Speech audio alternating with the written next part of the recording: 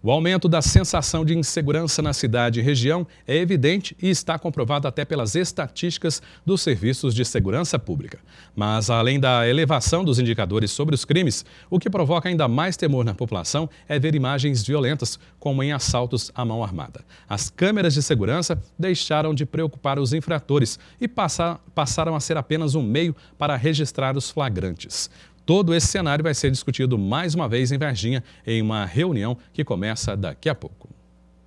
A Câmara de Varginha realiza nesta quarta-feira, a partir das 7 da noite, uma audiência pública para tratar sobre a questão da segurança na cidade. Ao meu lado está o vereador Romulo Azevedo Ribeiro, que é o presidente da Câmara e vai falar um pouquinho para a gente sobre isso. Então a gente teve nas últimas semanas, Romulo, um aumento da criminalidade aqui na cidade.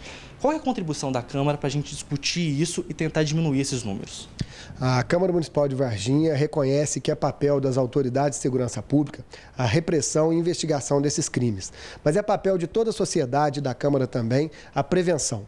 Há cerca de 40 dias atrás, quando iniciou essa onda de violência na nossa cidade, com o assalto à mão armada num supermercado no centro, nós convocamos aqui uma reunião com todas as autoridades de segurança, com toda a população e instituições e fizemos essa reunião. Infelizmente, de lá para cá, os índices não melhoraram. Nós tivemos na última quinta-feira a triste notícia de uma tentativa de assalto à mão armada dentro de um restaurante. E no sábado, um assalto consumado também a mão armada, num posto de gasolina. Então, imediatamente, a Câmara assume mais uma vez este papel e convoca as autoridades, toda a população e instituições para que a gente possa discutir nesta quarta-feira, a partir das 19 horas, aqui na Câmara Municipal de Varginha, soluções para que possamos devolver a paz para o nosso município.